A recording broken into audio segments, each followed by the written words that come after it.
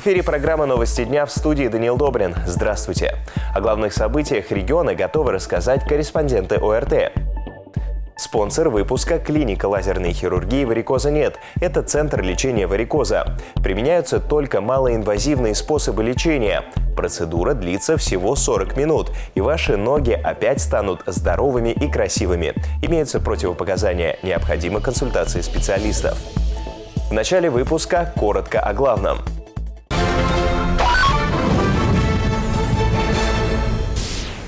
Награды героям. Губернатор Оренбургской области Денис Паслер вручил медали участникам специальной военной операции. Дело банды киллеров. Областной суд вынес приговор. Новый руководитель налоговой службы региона. Денис Смехов приступил к работе с 17 января. Минимальное значение за три года. Упал спрос россиян на займы для погашения кредитов.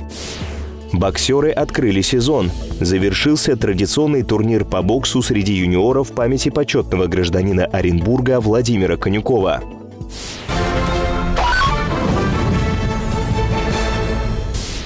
Оренбуржцы отмечены государственными наградами и наградами Министерства обороны России. Губернатор Оренбургской области Денис Паслер вручил медали участникам специальной военной операции. В торжестве приняли участие мои коллеги.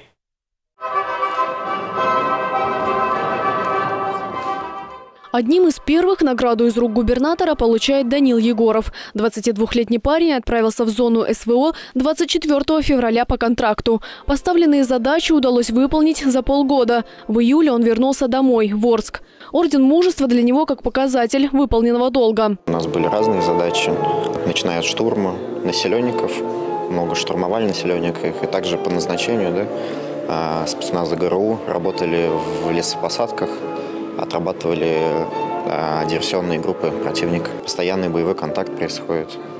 Все молодцы, кто там находится. Все настоящие мужчины. Настоящим героем Данила считает и его мама. Она тоже присутствует на вручении. Надежда Егорова рассказывает, что первое время было сложно. Сын редко выходил на связь. Я плакала и говорила, что, сыночка, мне очень тяжело. Он говорит, мама, ты только не плачь, ты держись. Ну, ты не представляешь, как мне тяжело. Вот. Я говорю, я буду держаться, я верю, я знаю, что ты придешь жив и здоров. Он говорит, мне больше, чтобы, вот, чтобы эта вера только была. Государственные награды и медали Минобороны России вместе с Данилом принимают еще 8 оренбуржцев. Георгиевским крестом четвертой степени награжден Максим Гаврилов. Во время боевых действий получил контузию. Скромно говорит, за что ему такая награда, не знает. Не знаю, что. Зачет дали награду. Конечно, страшно было. Если конечно, что-то шальная пуля полетит, все. Денис Паслер отмечает, стойкостью и мужеством военнослужащих гордится вся область. Он выразил благодарность и тем, кто продолжает защищать жителей новых регионов России. Каждый из вас – участник исторических событий. Настоящий герой, вставший на защиту своей Родины в сложное для нее время. Благодаря таким бойцам, как вы, Россия не раз за свою историю доказала право самостоятельно выбирать свой путь, право на суверенитет. Губернатор подчеркивает, тесная связь с шестью воинскими частями, в которых служат оренбуржцы, поддерживается ежедневно. По запросам командиров подразделений направляют все необходимое – снаряжение, технику, оборудование, медикаменты. Кроме того, только за прошлый год область направила больше одного миллиарда рублей на поддержку мероприятий, связанных с СВО. Еще более 500 миллионов рублей заложено в бюджет на 2023 год. Диана Кузимбаева, Игорь Бероев. Новости дня. Правительство Оренбургской области приняло поправки в порядок получения мер социальной поддержки, предусмотренных для мобилизованных и членов их семей. Теперь необходимые документы можно подать в электронном виде через портал госуслуг. Отметим, получить выплату в размере 50 тысяч рублей могут оренбуржцы, призванные на службу в рамках частичной мобилизации, а также добровольцы. Для этого необходимо предоставить документы, подтверждающие участие в специальной военной операции. Другим темам. Пожизненный срок и 18 лет лишения свободы. Областной суд вынес обвинительный приговор двум членам банды киллеров. Среди жертв убийц как лица без определенного места жительства, так и бизнесмены и даже семилетний ребенок. В материалах дела разбирались Александр Криволапов и Игорь Бероев. Январь 2018 года не только оренбуржцев, но и всю страну потрясла жестокая расправа над бизнесменом Черновым и его малолетним ребенком. Май 2019 года банда с особым цинизмом убивает бизнесмена Бахарева, его жену и водителя. Всего на совести убийц расправа над восемью оренбуржцами. Двое из банды киллеров, согласившиеся на сотрудничество со следствием, уже получили длительные тюремные сроки и отправились в колонию. 18 января 2023 года вслед за ними отправились и самые активные члены ОПГ Александр Оршлет и Виктор Бертхольц. Последний получил самое строгое наказание, однако кровь на руках всех членов банды. По фактам убийств двух неустановленных мужчин Чернова, Чернова, Бахарева, Бахаревой, Греднева, Седых в виде пожизненного лишения свободы. Роль Бертхольца в совершении данных преступлений была наиболее активна. Он привлекал других участников, новых участников ОПГ, э, распределял план, готовил планы, распределял обязанности и лично принимал участие в совершении всех убийств восьми потерпевших. Роль подсудимого Аршлета, тоже активных участников преступной группы, была несколько меньше. Он непосредственно принимал участие в убийстве одного потерпевшего, это лица без определенного неустановленного мужчины. А вот эти два первых убийства, убийства двух неустановленных мужчин, были совершены членами организованной преступной группы из хулиганских побуждений для тренировки. Виктор Бертхольц отбывать свой пожизненный срок будет в колонии особого режима. Ему же по приговору суда придется возместить моральный вред родственникам убитых им людей на общую сумму более 12 миллионов рублей. Александр Оршлет за участие в банде, организацию убийств и убийство одного мужчины без определенного места жительства 18 лет проведет в колонии строгого режима. Головорезы слушали свой приговор невозмутимо. Вам содержание вводной результативной части приговора и порядок обжалования понятно? Верховец, вам понятно? Осужденные и сторона государственного обвинения в течение 15 суток с момента получения копии приговора на руки могут обжаловать его в четвертом апелляционном суде. Александр Криволапов, Игорь Бероев. Новости дня.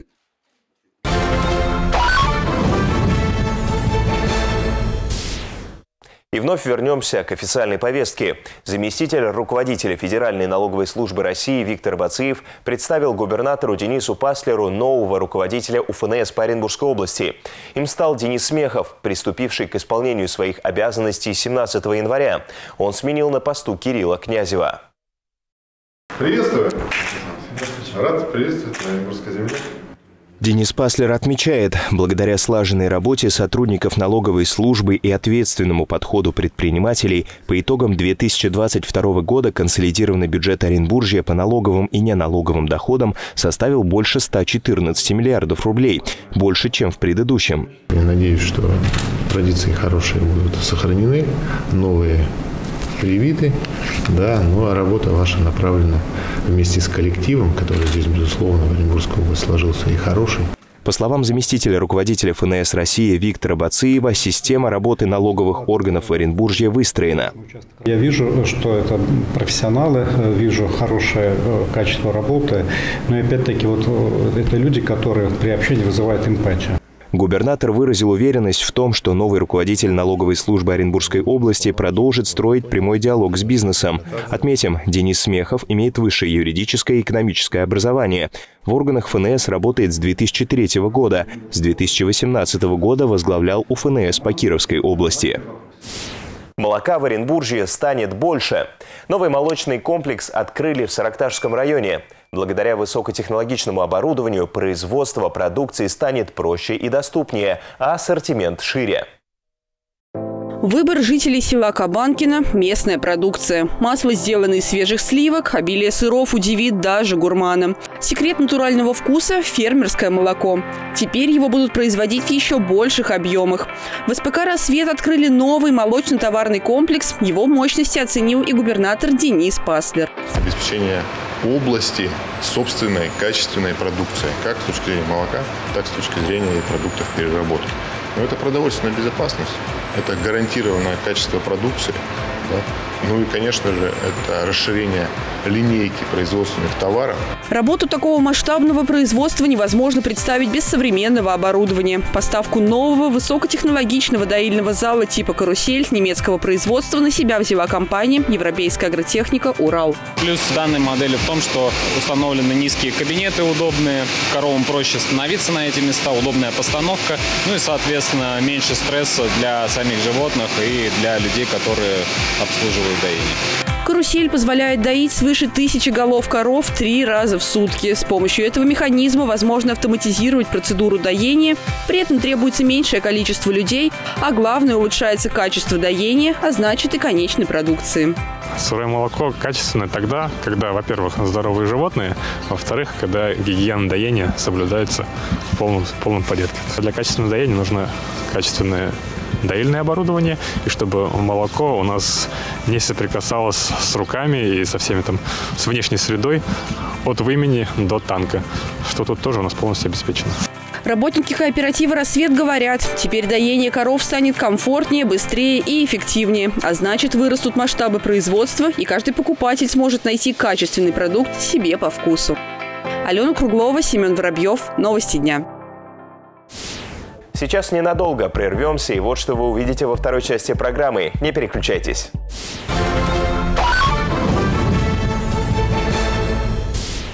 Минимальное значение за три года.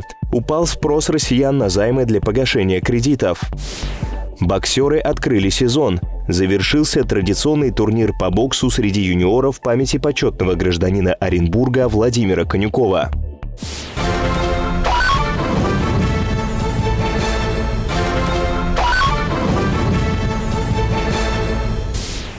Это новости дня. Мы продолжаем. Спрос россиян на займы для погашения кредитов в прошлом году упал до минимума за три года. По подсчетам аналитиков, доля таких запросов от общего количества составила лишь 6,2%.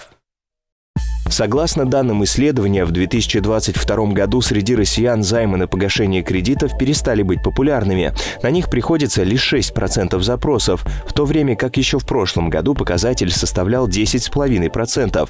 В 2020 году около 9%. Специалисты отмечают, минимальный спрос на такой вид займов был зафиксирован в марте и октябре, около 4% от всего количества займов. По словам аналитиков, подобная динамика обусловлена общим падением объемов кредитов кредитования в прошлом году и темпами их восстановления. К уровню 2021 года они не вернулись. Росла ключевая ставка и, как следствие, дорожали кредиты. Банки ужесточали скоринг, то есть систему оценки платежеспособности заемщика, и доступность суда для населения снижалась. Еще один фактор уменьшения спроса на займы для выплаты долга банкам – кредитные каникулы. Вместо того, чтобы увеличивать долговую нагрузку, россияне активно пользовались этим механизмом. Ранее профориентация. В Госдуму внесен законопроект, упрощающий трудоустройство несовершеннолетних. Если он будет принят, то для заключения трудового договора с подростками от 14 лет больше не нужно будет получать согласие органов опеки. Согласно данным портала социологических исследований, большинство россиян к инициативе отнеслось положительно. Каждый второй россиянин поддерживает идею ослабления требований к трудоустройству подростков. По их мнению, дети старше 14 лет уже вполне могут подрабатывать, а бюрократические процедуры – преграда для этого. Чаще всего такой позиции придерживаются россияне старше 45 лет. Против выступила четверть опрошенных. Главный их аргумент – могут возникнуть случаи злоупотребления детским трудом. Еще активнее поддерживают законопроект родители подростков. Более половины из них убеждены, что разрешение органов опеки излишне, достаточно согласия родителей. Четверть от общего числа родителей рассказали о наличии у их ребенка опыта подработки. Чаще всего дети работают неофициально – промоутерами, курьерами, грузчиками, официантами и продавцами. Однако есть и те, кто работает по договору – в библиотеках или оздоровительных лагерях. А как относятся к вопросу трудоустройства подростков оренбуржцы? Наша съемочная группа вышла на улицы города и выяснила, со скольки лет, по мнению жителей Оренбурга, стоит начинать подрабатывать. Самое интересное мнение в нашем традиционном экспресс-опросе. Ну, я, например, лично с 14 начинал работать, еще на полях э, в колхозе. А там уже как, э, что называется, здоровье позволит у ребенка. Кто-то и в 11 лет там выше, допустим, грубо меня ростом, а кто-то и в 17 метр с кепкой ничего не может делать. Ну, думаю, 14-15 лет. Если ребенок заинтересован в том, что он хочет работать, трудиться для себя и помогать родителям, это нормально. 16. Ну, если будут работать, хотят работать, то будут работать потому что по-другому-то нельзя никак. Ну, я думаю, что 16 лет можно уже идти. Подрабатывать, я имею в виду, учиться где-то и что-то уже, какую-то профессию осваивать можно.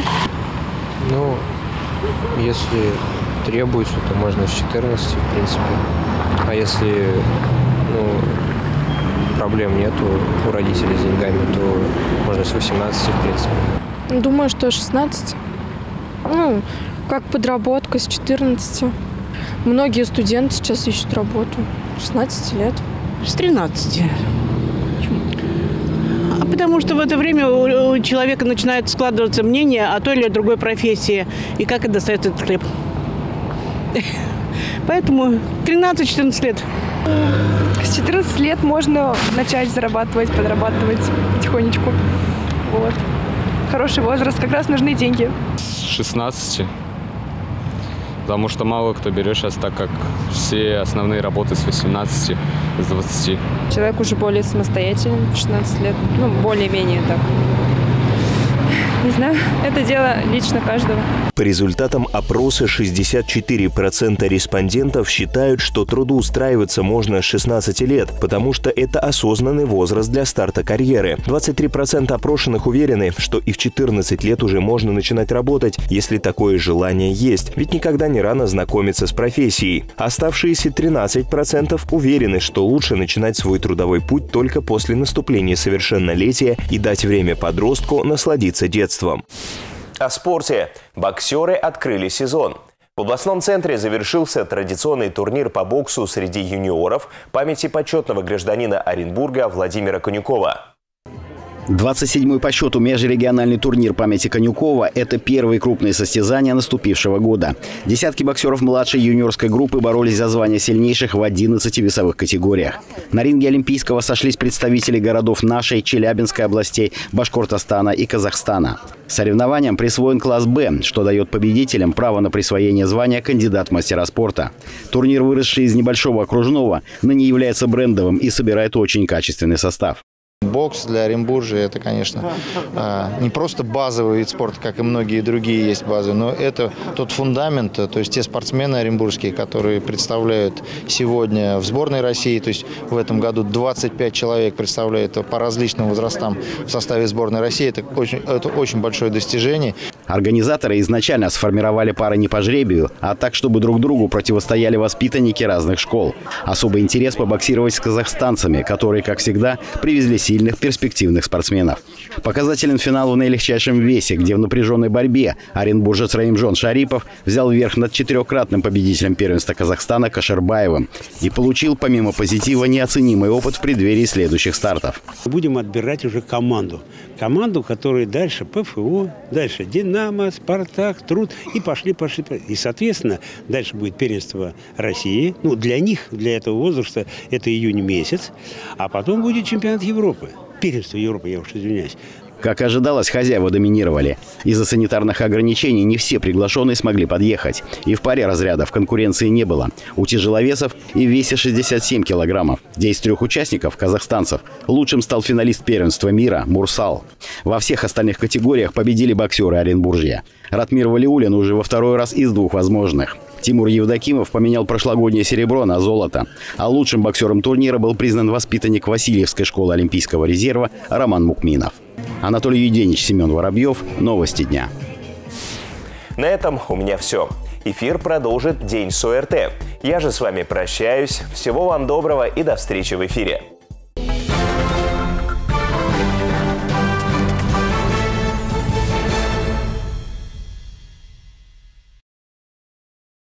Подарите ногам здоровье и легкость. Федеральная сеть клиник «Варикоза нет» приглашает на консультацию флеболога с УЗИ вен всего за 990 рублей. Записывайтесь 486 487.